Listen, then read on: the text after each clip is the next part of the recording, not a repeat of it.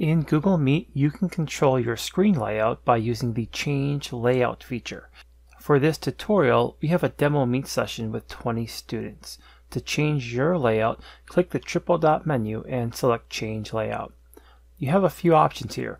Auto is the default option. Meet will try to optimize your display based on your screen size and resolution.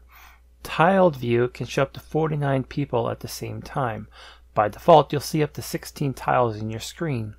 You can use the slider at the bottom to control the number of tiles you want to see. The spotlight view shows active speakers or a shared screen.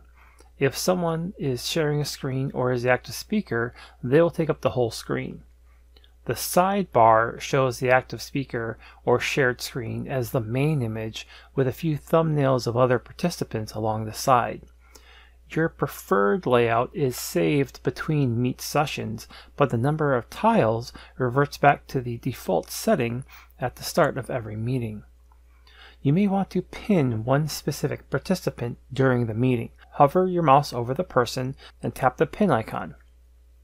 You can also pin your presentation or your own camera by mousing over your presentation in the upper right hand corner and pinning it there. You can also pin your camera. One thing to remember, what you have set up for your layout in your Google Meet as a teacher does not necessarily affect what the students see.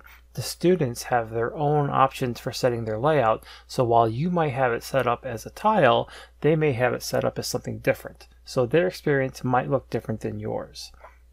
So that's the Google Meet layout options. I hope it gives you what you need to get started using this feature. Post any questions in the comments. Thanks for watching. Let me know if I can help.